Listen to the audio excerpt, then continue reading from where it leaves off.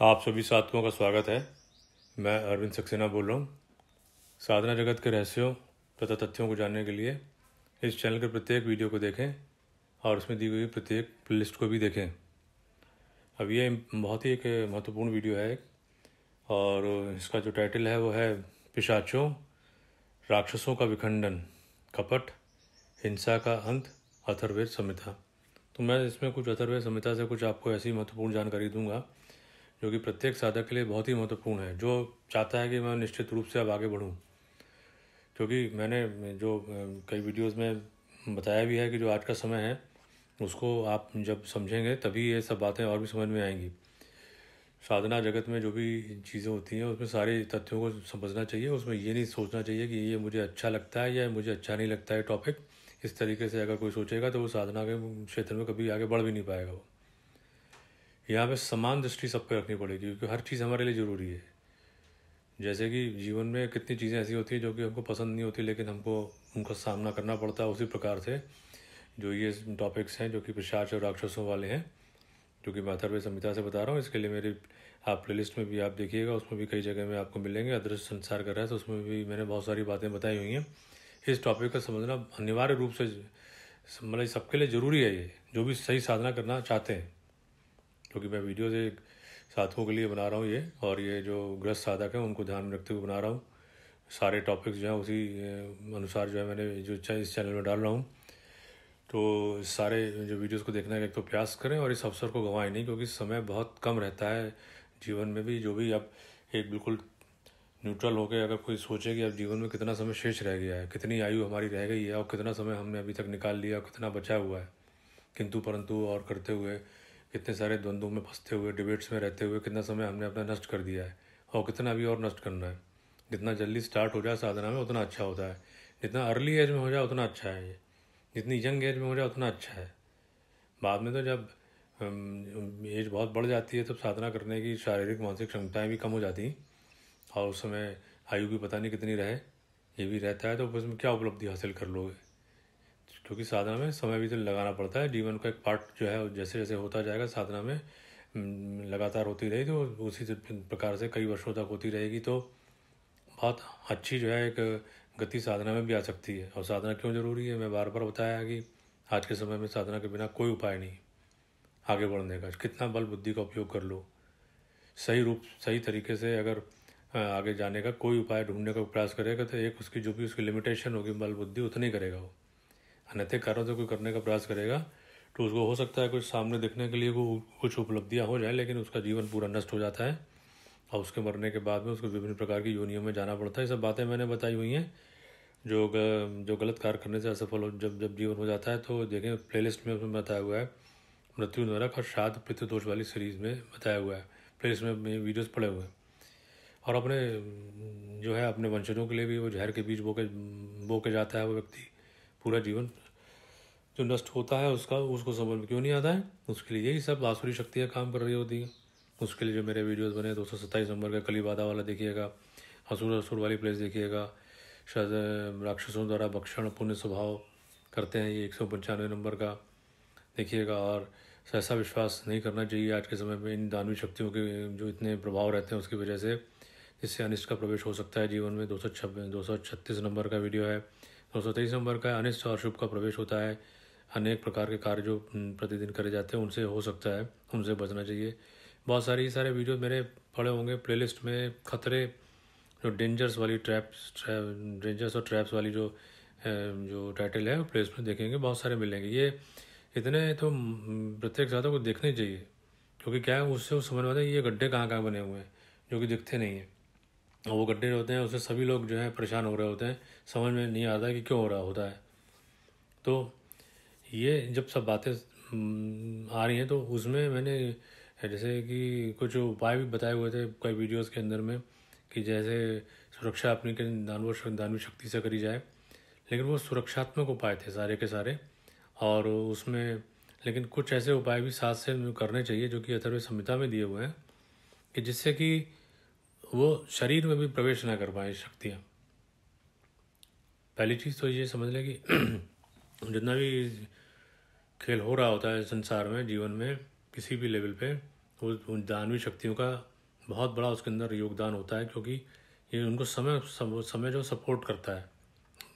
गलत शक्तियों को, दानवी शक्तियों को। इसके लिए आप वीडियो मेरे देखेंगे, दानव तीन सौ नंबर वाला, दानव शुभ कर्म दानव गलत शक्ति और दानव जो है मूर्ख बुद्धि।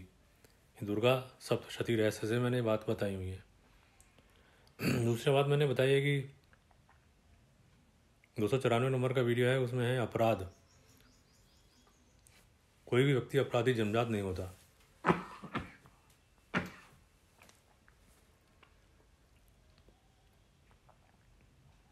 कोई भी व्यक्ति जन्मजात अपराधी नहीं होता है, उसको दानवी शक्तियाँ अपराधी बनाती हैं।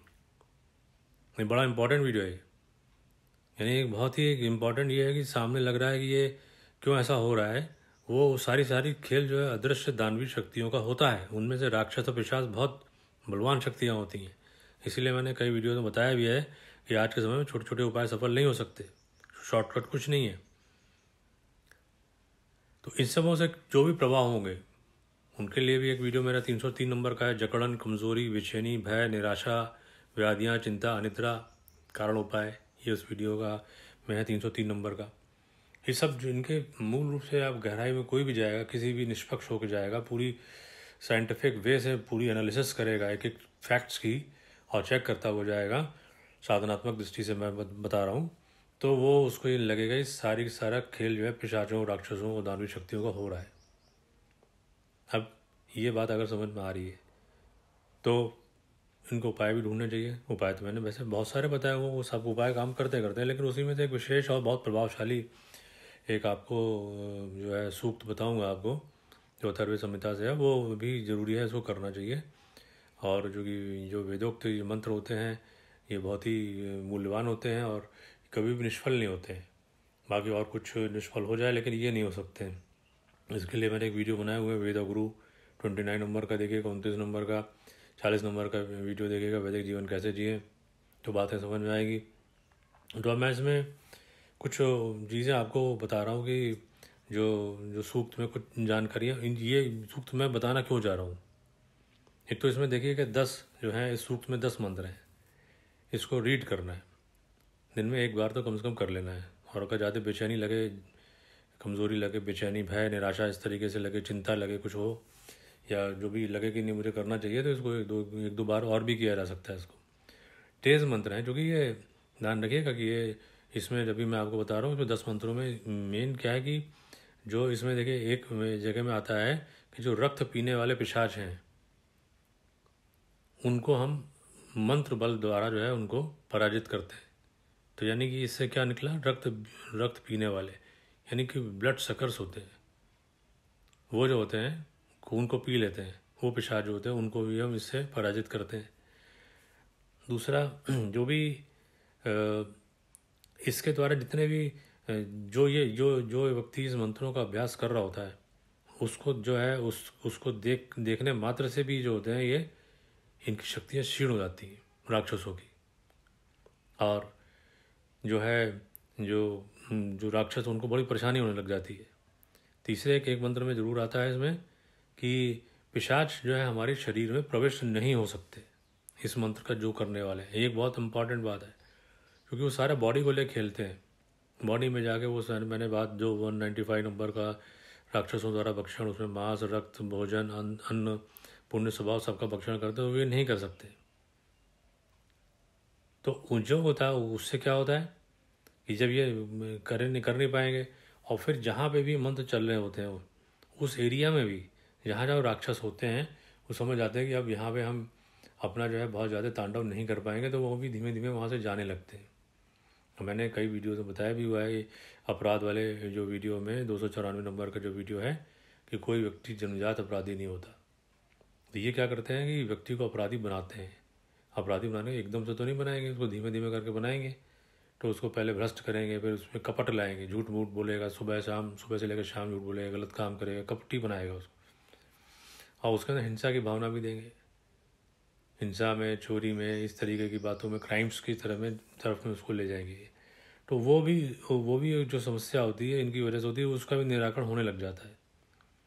यानी कि अगर जिस, जो से मान लीजिए कि कोई व्यक्ति अपने घर में कर रहा है तो वो स्वयं सुरक्षित होगा। साथ साथ उसके घर में जितने भी लोग रह रहे होंगे, या जो भी स्थान होगा, भूमि होगी, उसका जो भवन होगा, घर होगा, जो भी होगा वहाँ पे भी कहीं भी कोई भी इस प्रकार की राक्षस, राक्षसी जो शक्तियाँ होंगी, पिशाच होंगे, राक्षस होंगे, उनको हटना पड़ता है। अगर नहीं हटेंगे तो उनको उनको विनाश हो जाएगा, क्योंकि ये मंत्र बल ऐसा है, क्योंकि ये अथर्व संहिता से है, ये फेल होने वाला नहीं है। ये बहुत अनुभव करने की बात है, बड़ा प्रभावशाली साधना है ये। लेकिन इसको क्योंकि ये आप इतनी बात को अगर समझ रहे होंगे तो इससे क्या होगा? ये जब आप सीधे सीधे वही वाली बात होगी कि राक्षसों को इससे बहुत कष्ट होने लग जाता है, पिशाचों को बहुत कष्ट होने लग जाता है, अब उनको हटना ही पड़ता है, क्योंकि शरीर में प्रवेश नहीं कर सकते तो कोई काम ही नहीं कर पाएँगे, फिर तो वो गलत काम करा ही नहीं पाएँगे। तो उनका जो मूल होता है, जो उद्देश्य, जो मानवता को नष्ट करना होता है, क्योंकि दानव मानव में यह अंतर होता है। दानव जो होते हैं, वो मानवता को न, मानव को नष्ट करते हैं। दानव मानव को कीड़ा मकोड़ा समझते हैं। उनके लिए कोई मानव, मानवीय संवेदन, मानवीय चीज़ें, मानवीय बातें, उनके लिए कोई मतलब नहीं है। मानव शब्द से उनको चिड़ होती है। तो वो, ये नेचर ने बनाया हुआ है। ये सब बातें जो आपको मैं वेदों से बता रहा हूँ अथर्व संहिता से बता रहा हूँ। आप सब जगह में देखेंगे तो ये बातें आएँगी सूर असुर की बात आएगी, दानवों की बात आएगी, मानव की बात आएगी। क्यों? अब आप सोचिए जब वेदों के कितने पुराने हैं, प्राचीन हैं, हर हर युग में, हर युग में, सतयुग से लेकर कलयुग तक जितने भी युग हैं, सारे युगों के अंदर में ये सबों का असुर असुर का संग्राम चलता है। इस समय जो कि कलयुग है, यहाँ पे दानव ज़्यादा हावी हो गए हैं। अब जब इतने हावी हैं तो आप सोच लिए कि अगर ये छोटे छोटी चीज़ों से जाने वाले नहीं है ये तो कम से कम इतना है कि अपने हम अपने जो भी उपाय करेंगे अगर, उसमें हम शक्तिशाली साधन हैं, अगर वेदों के, वेद मंत्रों इत्यादि से निकाल कर उसको करते हैं तो हम इनसे बचाव कर सकते हैं और इनको भी, इनके प्रभाव को भी हम कम कर सकते हैं। इसलिए इसको करना एक तरीके से ये वाला जो मैं आपको सूक्त बता रहा हूँ, ये सूक्त बहुत ही इंपॉर्टेंट सूक्त है और ये सूक्त को प्रत्येक प्रत्येक व्यक्ति को अपने साथ में करना चाहिए। लेकिन क्योंकि ये ये इतनी बात इससे स्पष्ट हो जानी चाहिए इस चर्चा से कि जो दानव दानवी शक्तियाँ हैं, वो उनको आप सीधे सीधे बेसिकली आप उनको कह रहे हैं कि तुम हमारे जीवन से बाहर हो जाओ। तो इतना आसान नहीं होगा क्योंकि ये दानवी शक्तियाँ हैं, ये इतना बेबस कर देती हैं, इतना तो इसलिए जाएँगी नहीं, ये फिर ये प्रहारक, ये मुद्रा में भी आ सकती हैं, यानी कि प्रहार भी कर सकती हैं। तो इसीलिए मैंने बहुत सारे जो उसके पहले उपाय बताए उनमें से कुछ विशेष उपाय आपको बता रहा हूँ, वो साथ में करने पड़ेंगे। यानी कोई ये ना सोचे कि मैंने बता दिया कि इस अथर्व संहिता में ये सूक्त दिया है तो उसने कल से शुरू कर दिया अपना तो उसके विपरीत प्रभाव भी उसको मिल सकते हैं। क्योंकि ये जो भी शक्तियाँ वो आसानी से जो भी अपना कब्जा नहीं छोड़ती। ये है। तो उसमें क्या होना चाहिए? मैंने जो जिसकी फाउंडेशन के रूप में बता रहा हूँ मतलब मैं इस वाले सूख फाउंडेशन के रूप में कुछ साधनाएँ बता रहा हूँ। वो जो कर रहे होंगे, और जो इतने लोग वीडियोस मेरे लगातार देख रहे होंगे उनमें बहुत लोग ऐसे भी होंगे जो कि साधनाएँ कर रहे होंगे तो वो इस बात को समझेंगे भी। तो फाउंडेशन के रूप में भी जो नृत्य में एक गणपति अथर्शीज का पाठ डेली करना चाहिए, गणपति अथर्शीज का जो वीडियो है दो दूसरा नारायण अथर्शीज का पाठ करना चाहिए, इसका वीडियो दो और दो सौ सैंतालीस नंबर का सूर अतरशीष वाला वीडियो देखिएगा, इस सूर अतरशीष का पाठ करना चाहिए, ये तीन पाठ नित्य करने चाहिए। ये सब नोट डाउन ज़रूर कर लीजिएगा। और वीकली यानी हफ़्ते में एक बार, शिव अतरशीष का पाठ करते रहना चाहिए। और अठहत्तर नंबर का वैदिक सुरक्षा सूक्त, ये वीडियो है। वैदिक सुरक्षा सूक्त, ये कंपलसरी डेली करना चाहिए। इस, इसके साथ में इसका कॉम्बिनेशन भी है। ये दोनों कर दिए जाएँगे तो एक और एक ग्यारह हो जाएँगे। सुरक्षा भी होगी और साथ में उनको हटना पड़ेगा। तीव्र गति से उनका करना चाहिए। निष्कासन जो है वो शुरू हो जाएगा, जीवन से उनका विखंडन शुरू हो जाएगा, पिशाचों और राक्षसों का विखंडन प्रारंभ हो जाएगा। तो इसके अलावा फिर एक सौ छप्पन नंबर का कौन से मंत्र सुने? आसुरी शक्तियों से बचाओ, ये वीडियो देखिएगा, इसमें मैंने बताया कौन कौन से मंत्र डेली डेली सुनना चाहिए। और जो पचहत्तर नंबर का है, संपूर्ण वैदिक अग्नि साधना, क्योंकि ये जो इस वैदिक साधना ज़रूरी है, अग्नि साधना वाला वीडियो देखेगा पचहत्तर नंबर, इसमें जो भी स्टेप्स दिए हैं, उसमें से जो भी स्टेप्स मिनिमम कम कर सकते हैं, उनको ज़रूर करना चाहिए। कम से कम अग्नि सूक्त जो है, उसका पार्ट डेली होना चाहिए। वो कौन सा होगा, ये मैंने उस बात वीडियो वीडियो में बताई हुई है। क्योंकि ये जो अभी आपको मैं सूक्त बताने जा रहा हूँ, इस जो अथर्व संहिता से जो सूक्त बताने जा रहा हूँ, उसमें उसके देवता जो अग्नि है। अब अग्नि देवता की हम साधना नहीं करते, और अग्नि देवता से हम ये कह रहे हैं कि राक्षसों का अपशाचों का विखंडन कर दें तो कैसे संभव है? इसलिए अग्नि देवता की साधना अनिवार्य है। कौन सा पार्ट जो है वो करना है, वो वीडियो में पचहत्तर नंबर में दिया हुआ संपूर्ण वैदिक अग्नि साधना। दूसरा, इसी में से कुछ नहीं तो अग्नि सूक्त का पाठ डेली करना चाहिए। दूसरा, एक धूमावती साधना वाले वीडियो देखिएगा आप, एक सौ पचपन नंबर का धूमावती साधना रहस्य, जीवन का नव निर्माण, और दो सौ बानवे नंबर का धूमावती साधना पक्ष। ये दो सौ बानवे में साधना पक्ष है, और एक सौ पचपन में उसका पूरा क्यों उसको माँ धूमावती का क्या स्वरूप है और क्या शक्तियाँ उसके बारे में बताया इसमें से भी दो सौ बानवे नंबर में जो भी चीज़ बताइए, उसको भी देखना चाहिए और उसको भी स्थान अपने जीवन में देने का प्रयास करना चाहिए। साधनात्मक एक बहुत ही एक अनिवार्य करना चाहिए, अंग होना चाहिए, जिससे कि ये जो भी, इसके विपरीत प्रभाव, यदि कोई भी कहीं से भी आने का कोई भी प्रयास करेगी शक्ति तो वो नहीं कर पाएगी। और दो सौ इक्यासी नंबर का इंद्र वैदिक सूक्त, ये वीडियो देखिएगा, इसमें मैंने बताया वो उनका इंद्र वैदिक सूक्त सूक्त का भी डेली पाठ करना चाहिए।